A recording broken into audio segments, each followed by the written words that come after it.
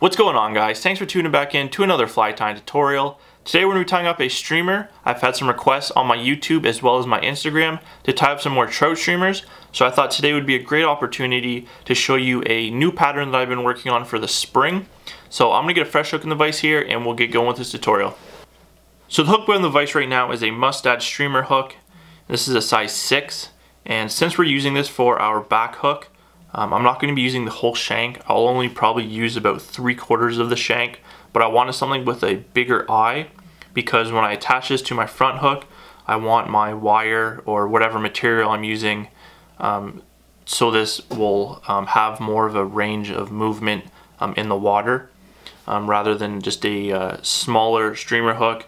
Instead of using a whole shank and a smaller eye, I like to use a um, bigger eye than about three quarters of a shank. The thread we're going to be using is just some GSP. This right here is um, Veevus and it is black and it is 50D. So I'm just going to start my thread there and I'm just going to come back to about actually the hook point. That's pretty much all we need. I'm just going to get a little base here. I'm going to stop at about a eye's length behind the back of the eye. And we're going to be tying in our first material, which is going to be some marabou. It's going to be for the tail. And this is just a Sculpin Olive strung marabou. And I'm to tie that in right on top.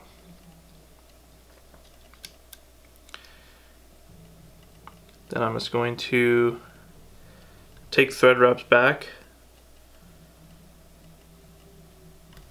Just like so.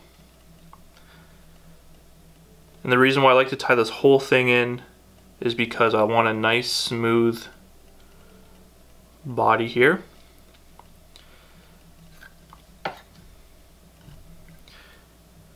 Now you can kind of come in and just trim out these kind of fluffy fibers.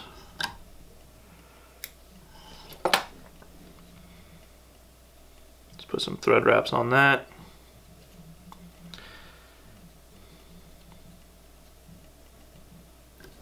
It's like so. So for the actual body of this fly, we're going to be using hen. Um, this right here is kind of just a olive. And you're going to want to, since this is the back part of the fly, you're going to want to start kind of at the bottom to midpoint on the actual hide because you want this to taper. So um, you want to try to use all these big fibers at the top for the front fly so it actually tapers down into the back.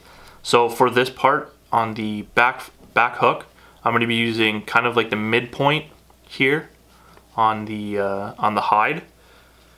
And um, I'll show you how to tie in one then um, I'm going to fast forward it just so it doesn't get repetitive because it does get a little bit repetitive but um, I think it looks really good once it's done.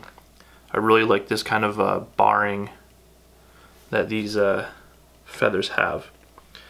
So all I'm gonna do is just get a little clump about 10 fibers or so 10 feathers um, off the off the hide so they're kind of in the same location. And all I'm going to do is I'm going to prep this as I would a soft hackle. Just like so.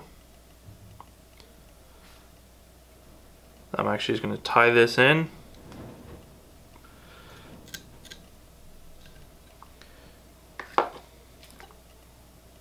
Get my hackle pliers here.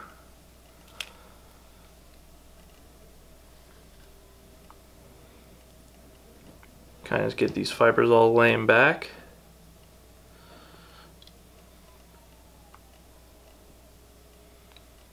And you're just going to wrap this in as you would a soft hackle. So once the stem's there, I can come with my thread and capture that. Kind of get all these fibers just pointing back. Just like so. Now you're going to repeat this all the way up the hook, hook shank until you get about to, I'd say an eye's length behind the back of the uh, back of the eye there. So I'm going to fast forward this part so I don't bore you. And I'll see you once we get to the front of the hook here.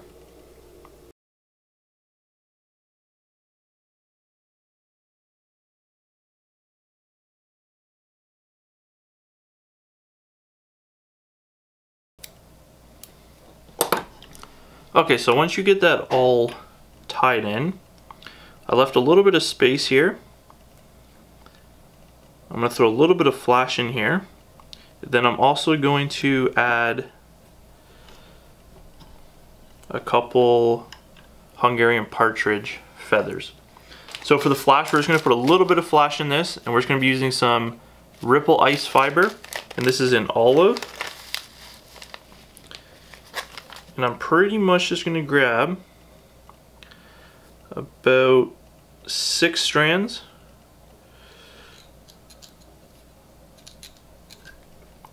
Tie it in here.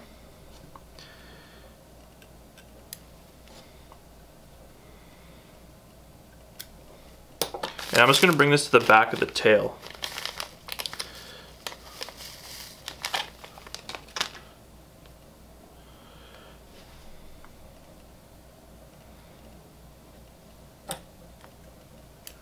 I'm to grab a little bit for the other side here.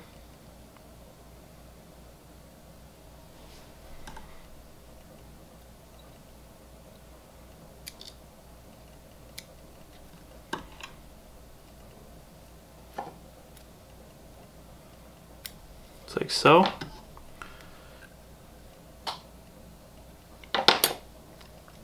Kind of just taper these fibers so they're not cut off straight. Just like that. Now I'm just going to throw in two little Hungarian partridge feathers here. Um, just add a little bit of um, barring. I really like the look of uh, Hungarian partridge and I just think it matches up pretty well with this fly. So I'm just going to grab about two, two big fibers here. Then I'm just going to strip them down as you would any other soft hackle fiber.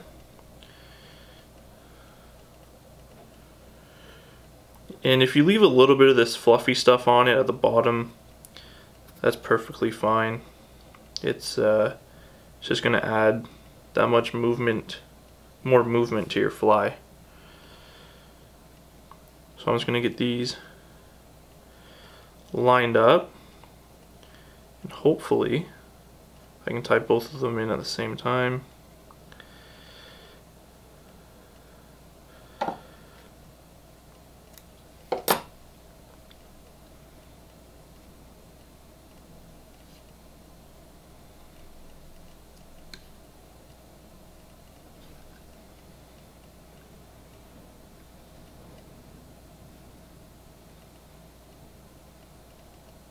So I find it just easier to do with your hands on this one because it's hard to get the uh, the hackle pliers on both stems.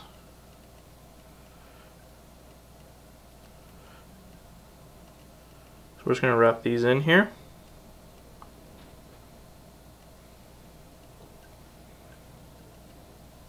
Capture both those stems.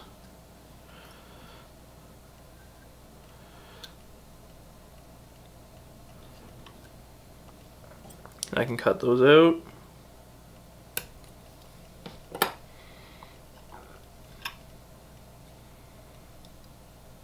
Just build up a little head here. It's like so.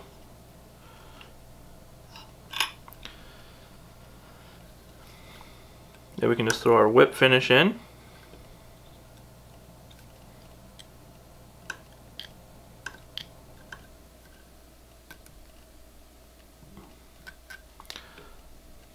throw two.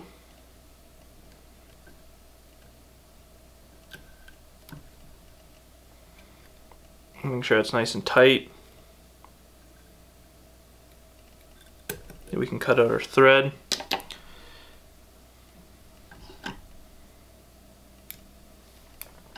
Then I'm just going to put a little bit of uh, Loon Outdoors thin just to build up a little head here.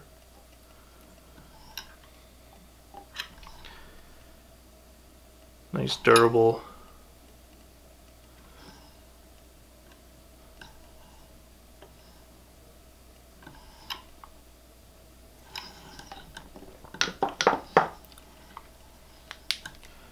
Then I can hit this with the light for about 15 seconds or so. Then I'm going to get my front hook in the vise and I'll get back to you once I have that all set up and uh, ready to finish off this fly. So the front hook we're using is a one size one stinger. This is a Mustad stinger. We're to be using that same thread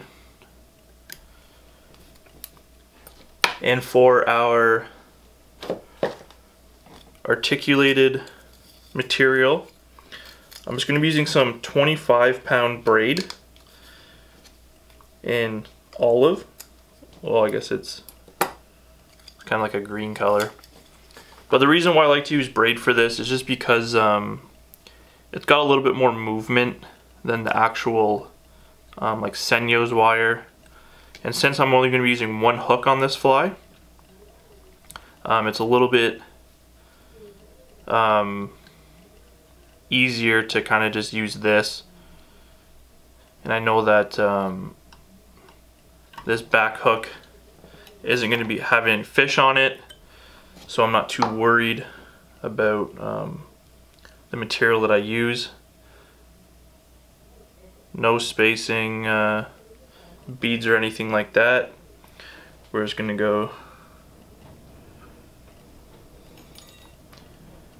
straight to the shank. If I can get this through here.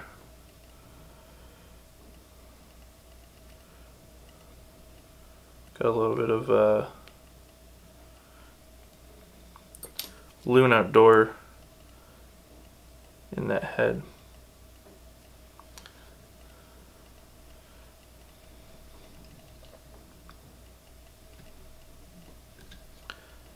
So pretty much I wanted about almost to the back of this uh, hook bend. Not too much longer than that. As you can see this has lots of movement. With that bigger hook eye it's got more room to uh, to move back and forth. So I'm just going to kind of bring this up cut those off.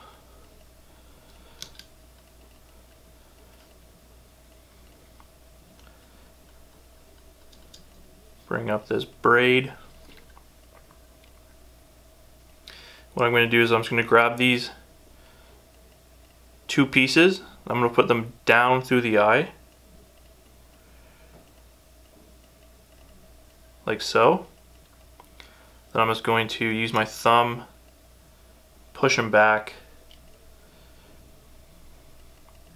and secure them in underneath this shank.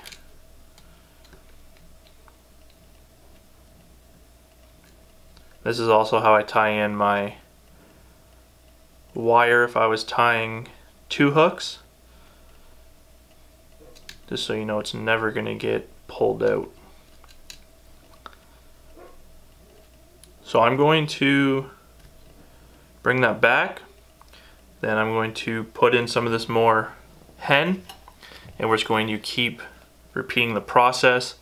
Um, I'm probably only going to put five, five uh, feathers in and this time I'm going to be using the bigger ones at the top so this fly has a little bit of a taper to it. You don't want it to be kind of all one size. You kind of want it bigger in the front and kind of just taper back into this um, back hook. So I'm going to get about four to five pieces here. And with these bigger ones, um, you don't need as many because they're a lot longer. And since this uh, hook's just a size 1, um, it fills up pretty quick.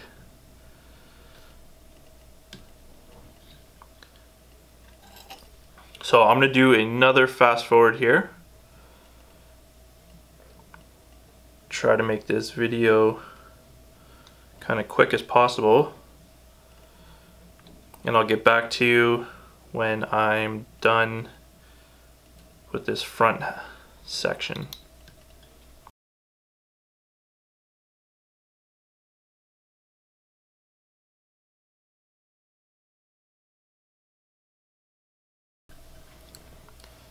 So once you get all those fibers in there, you can kind of, I find that these bigger ones kind of uh, get stuck a little bit. So I'm just going to come in with a little piece of Velcro and just brush it out.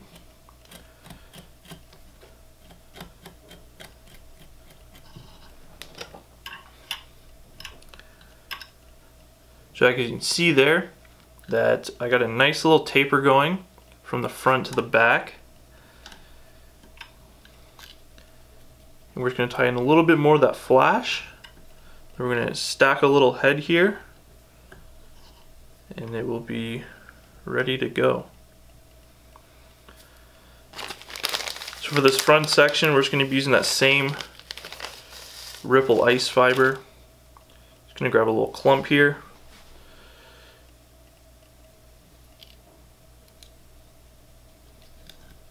Tie it in on each side.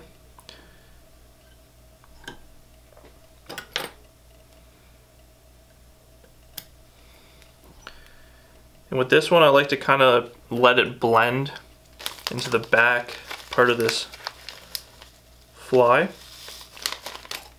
So I'm grabbing about, I'd say about eight. Back one was six. This one kind of grabbing about eight. I really like this stuff because it almost has a kind of a taper in it because they're all different lengths rather than crystal flash. Um, you would have to cut it to length and everything like that. So I kind of just let this kind of just bleed back into the back uh, back fly. Try to leave a couple of them kind of straggly long. It's just going to add to the whole kind of uh, lifelike look to it. Now we're just going to put a little head on here. We're just going to be using some elk hair. And the reason why I like to put just a little bit of, um, we're just going to put one spin on this is because I want it kind of like a, a stiffer head um, to kind of keel water, push water, and when I'm kind of like holding it in riffles and like kind of like jerking it up almost, I kind of want it just to sit straight. And I find with it, just this, it um, it gets really really thin, and it um, it cuts water nice, but it's just really compact's a little too little too thin for me. So um, you can either add a, um, a deer head, deer hair head with some um, uh, dumbbell eyes, or in my case here, I like to use these uh, fish masks. So that's what uh, I'm going to do with that. So I'm just going to get a um, about a pencil pencil diameter stack of this elk hair, dyed olive. I'm going to throw it in my stacker.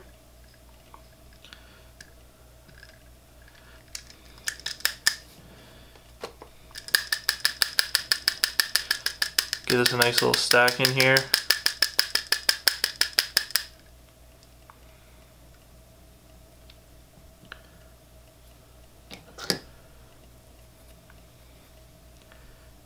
I just want a short little head here. I'm going to probably put it about half to a quarter of my body of the first fly. I'm going to take one, two, Then I'm going to get my nail, my finger, kind of just try to get this around the whole shank. I can turn, tie that down, kind of go through some of those fibers so it doesn't spin on me. Then I can just cut out all this.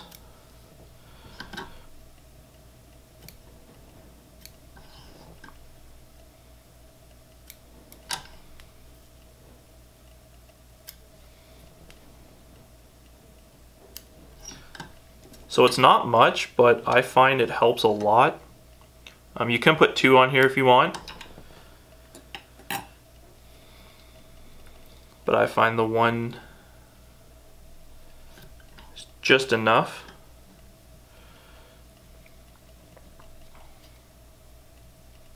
So I'm just going to cover up all these little butts here. Now at this point, you can just throw a whip finish in. Then I'm going to throw my fish mask on here.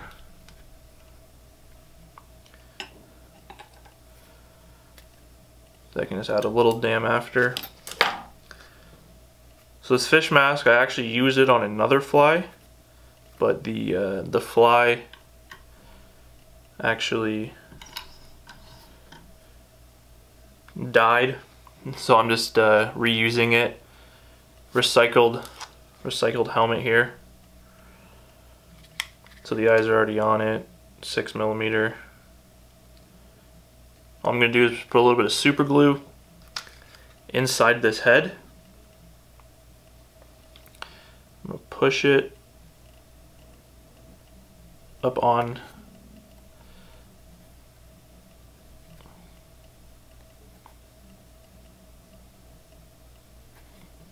to these elk hair fibers. I'll get my finger all super glued. Just like that. I come in with my thread again. Just build up a little dam in front of that fish mask, even though I know it's not going to go anywhere.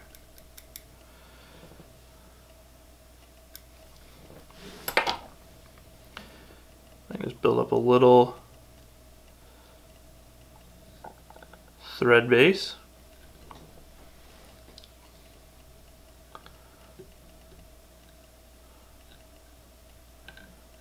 Throw in a nice whip finish.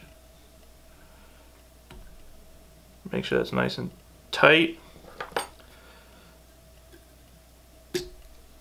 Cut out your thread. Then I'm just going to come in with a little bit more of this Loon Outdoors thin. I just like to give this whole thing a coat. Kind of get it down in there. Without gunking up your eye. I just got a little pin here. I'm just going to put down through that eye so when I cure it doesn't go in there.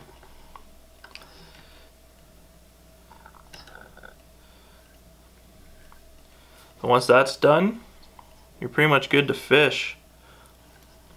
So I'm tying this right here for trout, so it's about four inches or so, just a single hook, and that's because the water that I fish is um, single barbless hook, so that's why I um, can only use one hook.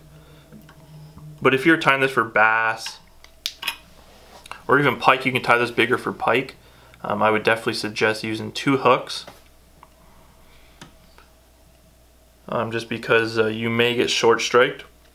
But um, with this, it's only four inches long, so I know um, these trout are just going to uh, eat the whole thing. So once that's cured, just take your pin out there so you can fit your line through and uh, you're good to fish. So if you're uh, in the market for some nice uh, trout streamers. I definitely uh, suggest tying a couple of these up and trying them out. And like I said, you can tie these for bass too um, if you want to tie them a little bit bigger. But I think this is definitely going to be um, a fly that's going to be in my box a lot this year and um, at the end of my tippet. So hope you liked today's video guys. If you did, give it a thumbs up. If you have any questions about the fly or any of the materials or anything like that, uh, please feel free to drop that down in the comment section below. Subscribe to the ch channel if you haven't yet. Thanks a lot again for watching guys, and we'll see you in the next tutorial.